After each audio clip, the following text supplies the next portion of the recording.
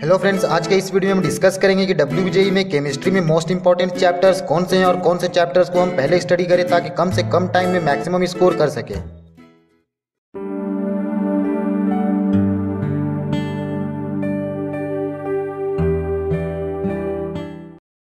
Friends अगर हम chemistry में सिलेबस की बात करें तो क्लास 11 और क्लास 12 के सभी चैप्टर्स इंक्लूडेड है मतलब के टोटल 30 टू 35 चैप्टर्स प्रेजेंट है, जिसमें से कहीं से भी कोई भी क्वेश्चंस आ सकते हैं। और डब्ल्यू में टोटल फोर्टी क्वेश्चन आते हैं मतलब कि यहाँ फिजिक्स की तरह वन ऑन वन सिचुएशन भी हो सकते हैं कुछ चैप्टर्स के लिए और कुछ चैप्टर्स के लिए वन ऑन वन सिचुएशन नहीं भी हो सकते हैं। मतलब कि कुछ चैप्टर्स ऐसे होंगे जिनसे सिर्फ़ एक ही क्वेश्चंस आएँगे और कुछ चैप्टर्स ऐसे भी होंगे जिनसे एक से ज़्यादा क्वेश्चंस आएँगे। सो so, हमारे पास बेटर ऑप्शन यही है कि हम उन चैप्टर्स पर फोकस करें जिनसे एक से ज़्यादा क्वेश्चंस आते हैं क्योंकि हमारे पास टाइम भी बहुत कम है और सिलेबस भी बहुत ज़्यादा। सो so, फ्रेंड जो सबसे मोस्ट इंपॉर्टेंट चैप्टर्स है वो है chemical bonding D and F block of periodic table जिसे ट्रांजिशन एलिमेंट भी कहते हैं। Chemical kinetics S block of periodic table P block of periodic table basic organic chemistry redox reaction coordination compound ionic equilibrium and chemical equilibrium इन सभी chapter से about two to three question आते हैं and full predictable से देखा जाए तो about seven to ten question आते हैं जो कि बहुत इंपॉर्टेंट है। सो so फ्रेंड्स आप इन चैप्टर्स को नोट कर लें और इन चैप्टर्स पर फोकस करें और इन्हीं चैप्टर्स को पहले करने की कोशिश करें।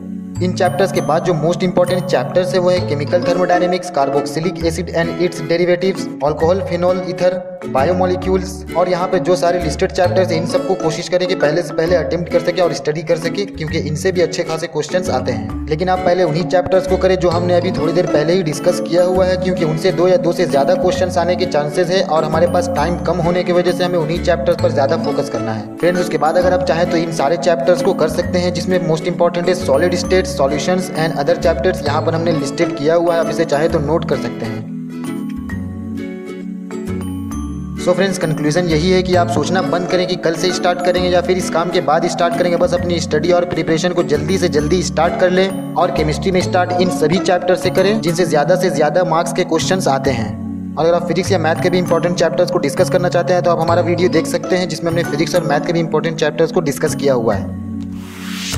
फ्रेंड्स अगर आपको किसी भी किस्म की डाउट है तो आप हमसे कमेंट में पूछ सकते हैं और आप इस चैनल को सब्सक्राइब कर लें, क्योंकि हम आगे कुछ और वीडियोस अपलोड करेंगे, जिसमें हम एग्ज़ाम से रिलेटेड टिप्स एंड ट्रिक्स को डिस्कस करेंगे। और अगर आप किसी भी वीडियो को रिक्वेस्ट करना चाहते हैं तो हमसे कमेंट में जाकर रिक्वेस्ट कर सकते हैं और हम कोशिश करेंगे कि आप तक उस वीडियो को जल्दी से जल्दी पहुँचाएँ।